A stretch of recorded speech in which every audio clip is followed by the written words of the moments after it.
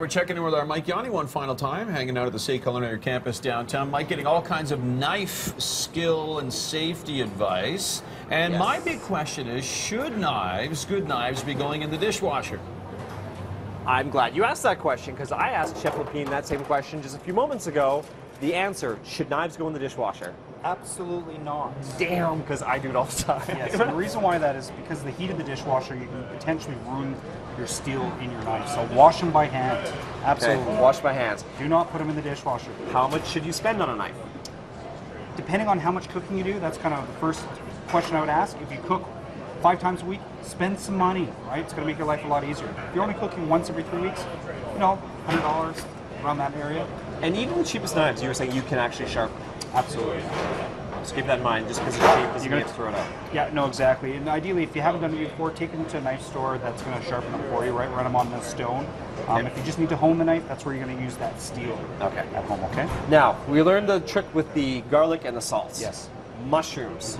These can be tricky to cut. What's your suggestion can how to cut mushrooms? So if you're using a button mushroom or cremini mushroom that's nice and round, you usually want to have a flat side first. So you're going to make the first cut, and then what you're going to do is flip it over and do your cut like this. Oh, look at that. Okay. This is a shiitake mushroom, so you can see it lays nice and flat. Yep. And the reason why we want it nice and flat, so we have a nice base to cut off, right? If we have a mushroom that rolls, we're in trouble.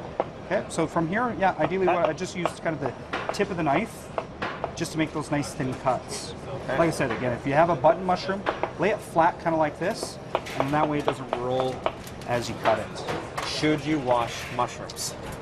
Great question. If they're cultivated, absolutely, because they're grown in manure and fertilizer or whatnot. If they're wild mushrooms, make sure you go with an uh, individual that has done that before, because ideally you can make yourself or your family sick. But Okay. all mushrooms that are cultivated, button mushrooms, cremini, shiitakes, they should be washed. Um, when those, don't let them soak in the water because they will absorb a lot of that water. Just rinse them, make sure all that uh, dirt and whatnot's off, and you're good to go. Squash. Yes. I usually cut slices and then put them on the side and cut the rind off. You said I'm wasting a lot. you are wasting a lot. So what I like to do with that, same thing with the pepper, cut the top and the bottom off, Yep. and then use a peeler to take off all that peel. So that way you're not wasting all the squash and throwing it out, right? You want to use that in your soup or your puree or whatever you're doing. Lots of tips here. I just want to mention there is uh, some knife skill courses at SAIT Culinary Campus. In March, there's two coming up. Uh, so if you want to learn some of the things that I learned here, plus much more, make sure you take those in because, I mean, guys, there's so much to learn here. I did not realize I wasn't supposed to put knives in the dishwasher. I'm disappointed by that one because I do it all the time. And I'm glad that Mike Yawney's coming back with all of his fingertips. Yes. Just for the record. I'm proud of you, Mike. He hasn't left yet. Tomorrow, Mike's at the Heart Fit Clinic. Coming up after the break, we'll let you know what else is happening on Tuesday.